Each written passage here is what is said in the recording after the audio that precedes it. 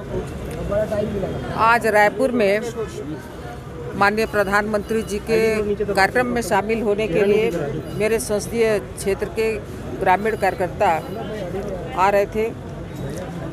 रास्ते में एक्सीडेंट हुआ, जिसमें तीन लोगों की मृत्यु हो गई छः लोग घायल हुए थे और बस में जितने लोग बैठे थे, उनको कम चोटें आई थी।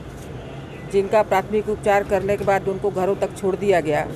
मोदी जी ने आज- संज्ञान लिया है घायलों के इलाज के लिए कहा है आपको भेजा क्या है? आपने देखा होगा मीडिया में आज कि माननीय प्रधानमंत्री जी ने मंच में सबसे पहले इस घटना का ज़िक्र किए जो आज हमें छोड़कर चले गए।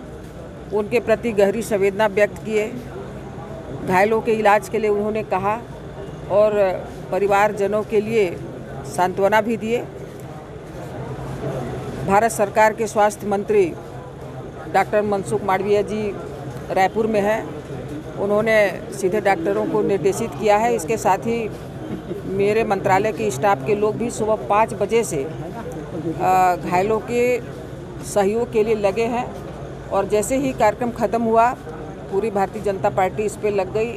सरगुजा संभाग के संगठन प्रभारी संजय श्रीवास्तव जी उस कार्यक्रम में शामिल भी नहीं हुए, सीधे सूरजपुर के लिए निकल गए। जैसा कि आपने सरकारी सहायता के लिए कहा है तो भारतीय जनता पार्टी अपनी ओर से पाँच पाँच लाख रुपए की घोषणा की है। और इसके साथ साथ मैं आप सब मीडिया के सामने भी ये कहना चाह रही हूँ कि इनके इलाज में जो भी खर्च आएगा, इलाज जहाँ भी होगा चाहे रायपुर हो दिल्ली हो दिल्ली के बाहर हो उन्हें उचित इलाज दिया जाएगा।